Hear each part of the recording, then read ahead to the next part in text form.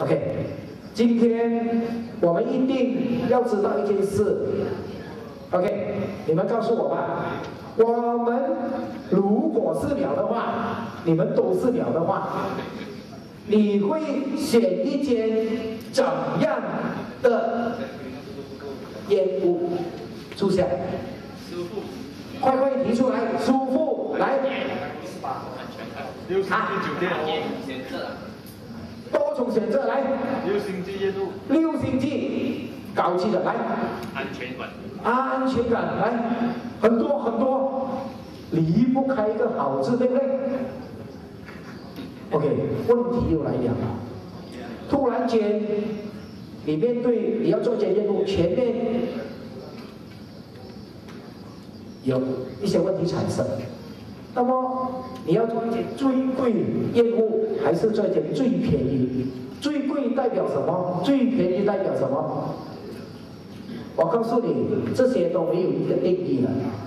我只给大家在投资业务课程里面这几句话，你们一定要记得。做业务不是做完一件事，乃是做对一件事。这对以什么做主导呢？业务。有没有问过那这鸟喜欢什么？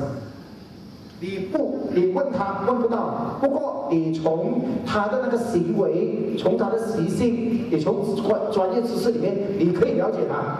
很简单，挂鸟，你们现在知道鸟怎么挂啦？现在知道了吗？OK，他喜欢什么木？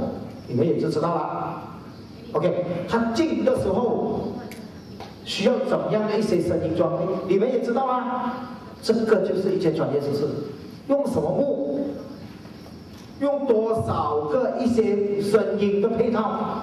其实我讲这些哈，再次强调一点，这个东西不是绝对的。